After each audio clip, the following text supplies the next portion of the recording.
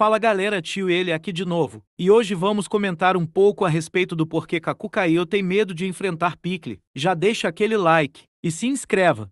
Por que Kaku Kaio tem medo de Picle se ele já enfrentou Ayujiro Rama? É interessante de se pensar como o lutador mais forte das artes marciais chinesas tem medo de enfrentar o homem pré-histórico, se ele já enfrentou a criatura mais forte do verso de Baki. E ainda o menosprezando em várias ocasiões dizendo que sua técnica irá ultrapassar seu enorme poder bruto. Será que Kaku Kaio acredita que Picle é mais poderoso que Yujiro Rama? E por isso que ele teme ao homem pré-histórico? Antes de responder essa pergunta, Vamos revisar o que dito por ele na luta entre Katsumi Orochi versus Pickler. Retsukayo Kaiô perguntava: Mestre Kaku caiu.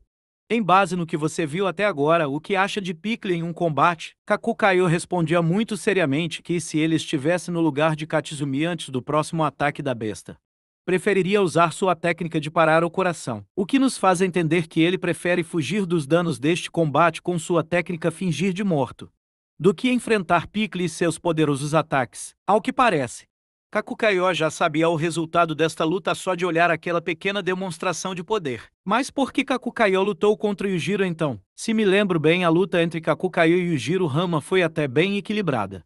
Com o grande Kaiô em alguns momentos até pressionando a Yujiro, mas quando o mesmo ativou seu poder demoníaco, as coisas mudaram. Então, vendo o quanto o ogro e perigoso nessa forma, ele percebeu que não tinha mais condições de enfrentá-lo e resolveu usar sua técnica de para o coração e se fingir de morto. Então é possível que pique diante dos olhos de Kakukayo.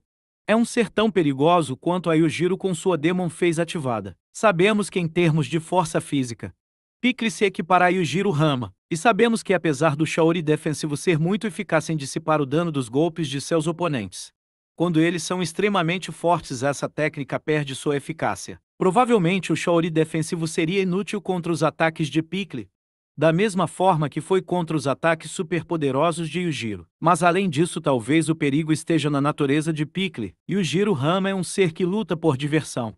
Embora seja extremamente perigoso, tem uma chance de sair vivo do combate. E ao contrário disso, Picle é um ser que vive para lutar e sobreviver.